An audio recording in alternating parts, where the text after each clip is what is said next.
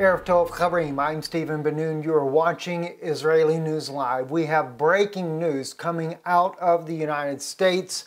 Uh, this is the first day that President Erdogan, the Turkish president, is speaking publicly in Washington, D.C. He was there today earlier with uh, Vice President Joe Biden near at his side, also expected to be meeting with President Obama making time for his trip here. He is a very controversial figure right now, uh, especially in light of the uh, constant reports coming in from around the world of how he abuses and attacks and is violating human rights uh, against the Kurdish people that are both in his country as well, even crossing into Iraq and attacking and in Syria and continuing to attack uh, the Kurdish people, and that happens to be a U.S. ally. It's a, it's a shame that the President of the United States is even uh, inviting him to the country in light of all this. But the shame has only gotten worse in this breaking report coming today out of teleSURtv.net. Uh, and I believe one other uh, news, I think it's Sputnik News, also has reported that Erdogan's Turkish guards have attacked a journalist. Uh, their title is a little different than what ours is here, but very similar. And uh, we're going to share with you uh, uh some of the footage here uh, Brian Reeves on Twitter also shared a, a little clip from his there.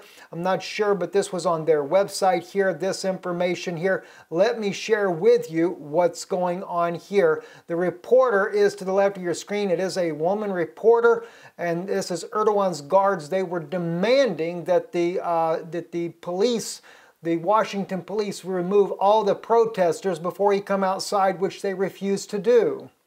And not only was a reporter attacked, but supposedly another woman bystander was attacked. This particular reporter here was being called by them a PKK whore. She is a Turkish citizen, uh, and no doubt she was challenging them, but they got they pulled in on her, and then the next thing you know, they do attack her. This footage you won't see the attack.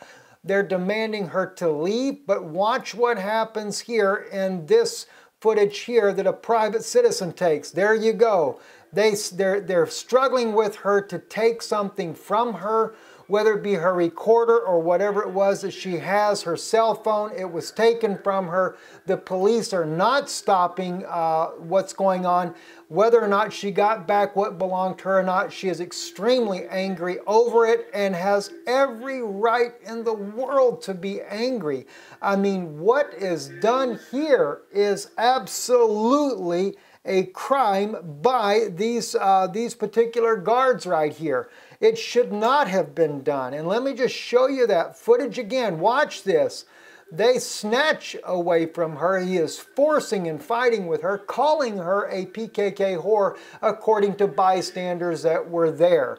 Uh, of course, the PKK is a, is a Kurdish party in Turkey, uh, but very serious situation, no doubt. Uh, and it's even concerning her being a Turkish citizen. She's a journalist here in the United States, uh, but she will end up having, uh, if she hasn't already done it, she will have to apply for probably asylum in the United States because if she goes back to her country, I can only imagine what the Turks would do to her. As we've seen, they have imprisoned a number of people already. Anyone that comes against the Turkish government is put into prison. I'm Stephen Ben-Nun. Later this evening, we'll be bringing more details of the crimes of Turkey and even how it's fulfilling biblical prophecy in an amazing way. Be stay tuned later this evening as we bring you this special report. Shalom and good evening.